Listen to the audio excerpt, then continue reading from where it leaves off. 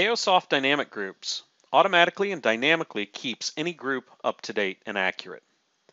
The idea behind dynamic groups is that you can choose any type of group in Active Directory or any type of group in Azure Active Directory or Office 365, apply a set of rules to those groups, and then have the rules determine who is included or uh, excluded uh, from the group. The nice part is these groups can then be periodically, or these rules can periodically be refreshed. And so as the data changes in either Active Directory or in Office 365, the group membership uh, will realign to whatever the new data sets are. That way you don't have to spend hours, days, weeks, months, or years updating groups manually. Uh, to create a dynamic group, you have a couple of options.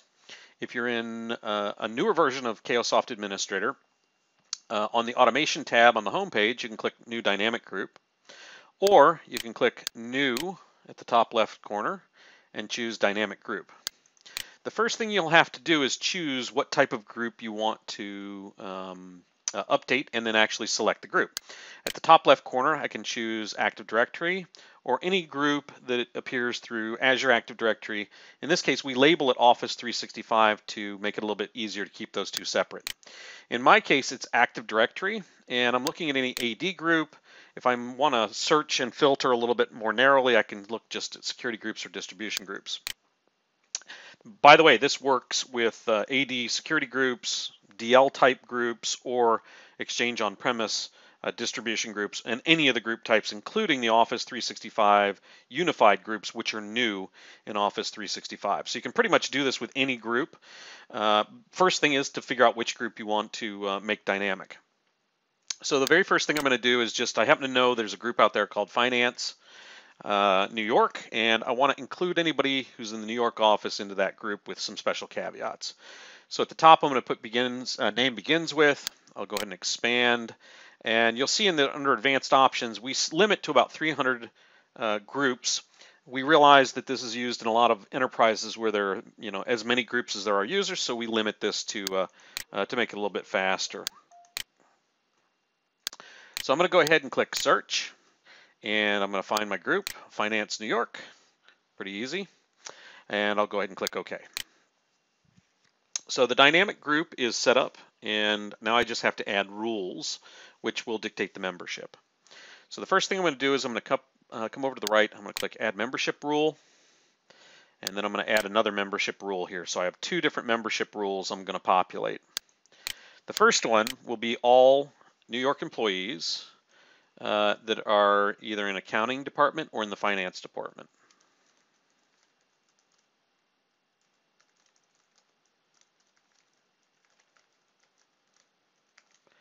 And they have to be in New York. And the second one is I'm going to add somebody who's not in New York, maybe the finance manager, or sorry, manager of finance. Could be like the VP or whatever. The first one I'm going to use include by query. It's going to go out and find all the people I'm interested in. You'll also see if I wanted to prevent people from being in the group, I could use exclude. And then to put people in the group that don't fit the rules listed here or the queries, I can actually add them here. So the second one, I'm actually going to include objects by name. And you'll see I have a little add button down here. I'm just going to go out here. This time I'm looking for a user. Could be a group also. I'm just going to add the VP of Finance, who's not in New York, Jimmy Buffett. So you'll see I've now included a particular user. If I wanted to exclude a particular user or group, I could do it that way as well. So here's the fun part. Here's where we build a query to determine um, who's going to be in this group and who won't be in the group. So I'm going to go ahead and click the Add button here under the Command section. And you'll see all of the predefined queries uh, that come with the product are listed. So I can add computers because it's an on-premise Active Directory group and that's legal. Contacts, groups, other distribution groups, security groups, etc. What I'm interested in is users. But I also want to point out that we can do employees uh, under a particular manager. And this also gives me the ability, for example, to do multiple levels. So I could say, you know, the VP plus the two levels below them as defined by the manager subordinate attribute set in Active Directory. Uh, there's lots of other ones, so I wanted to create a list of everybody whose passwords already expired and put them in a group. I could do that sort of thing. If I come down here, you'll see that also anybody whose password's not required. So these are all the standard queries we provide. And once I select AD users in this case, uh, the first thing I'm going to do is apply uh, a limitation on where I'm going to look in my domains.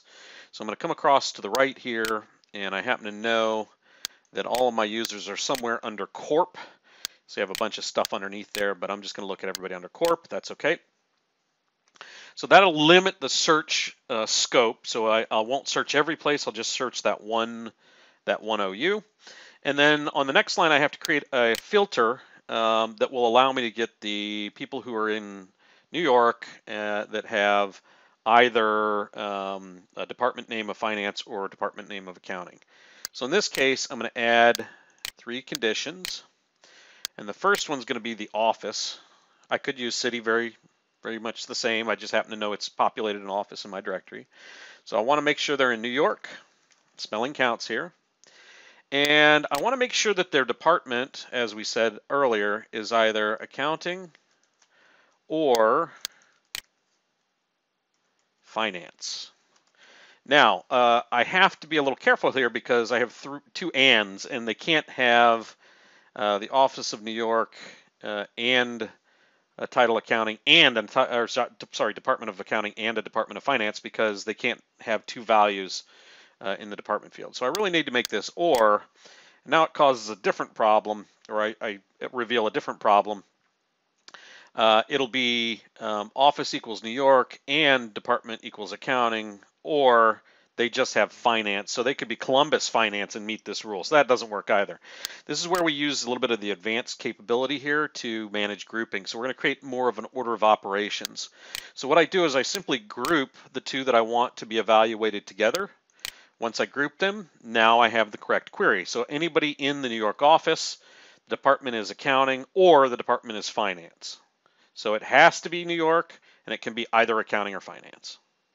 So I'll go ahead and click OK. This provides uh, everything I need. I've limited my scope.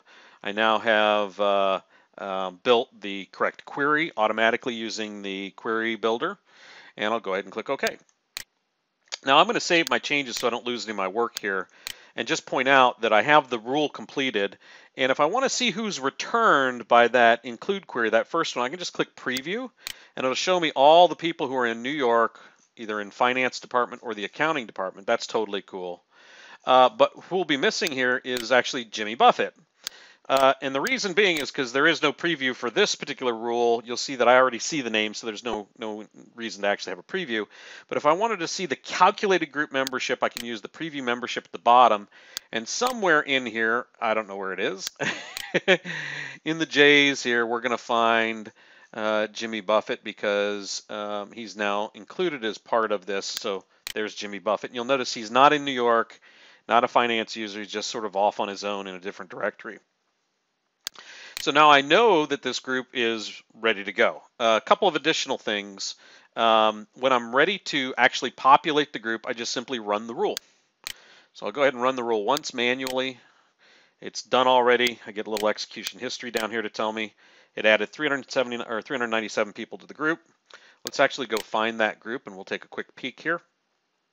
So I'm going to go to groups and I'm looking for Finance New York. There it is. And you'll see that we've added a little note here that it's controlled by Cayosoft Dynamic Groups. And if I come in here and look at the members, I'll see there are my 300 and some X people.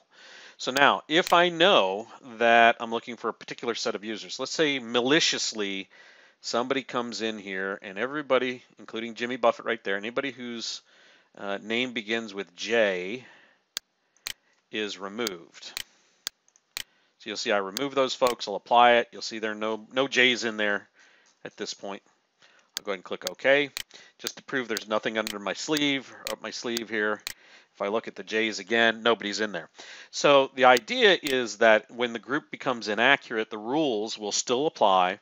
And so the next time that this rule is run, it will do an incremental update on the group and put back the people who were added incorrectly. In this case, you'll see 47 people were put back. If I select that, it'll actually tell me how long it took uh, to perform the task and how many minutes it would have taken me to do that manually.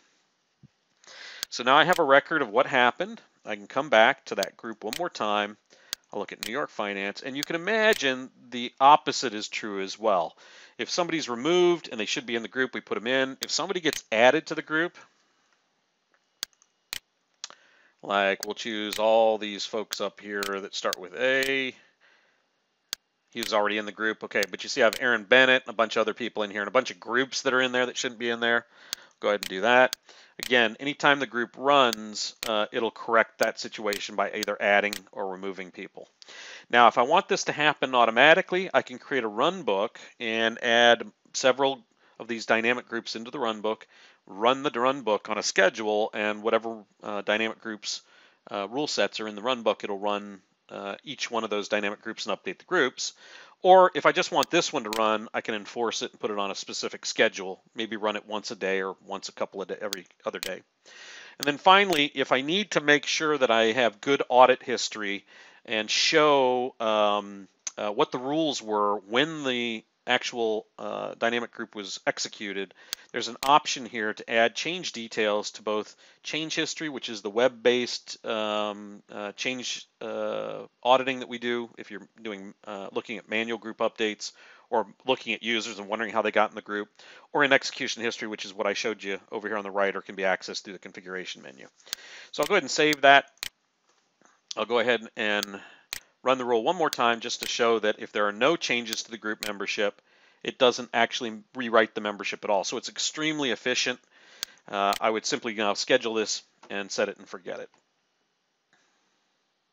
You can get more details on this uh, by going to cayosoft.com uh, forward slash download and giving the product a try yourself.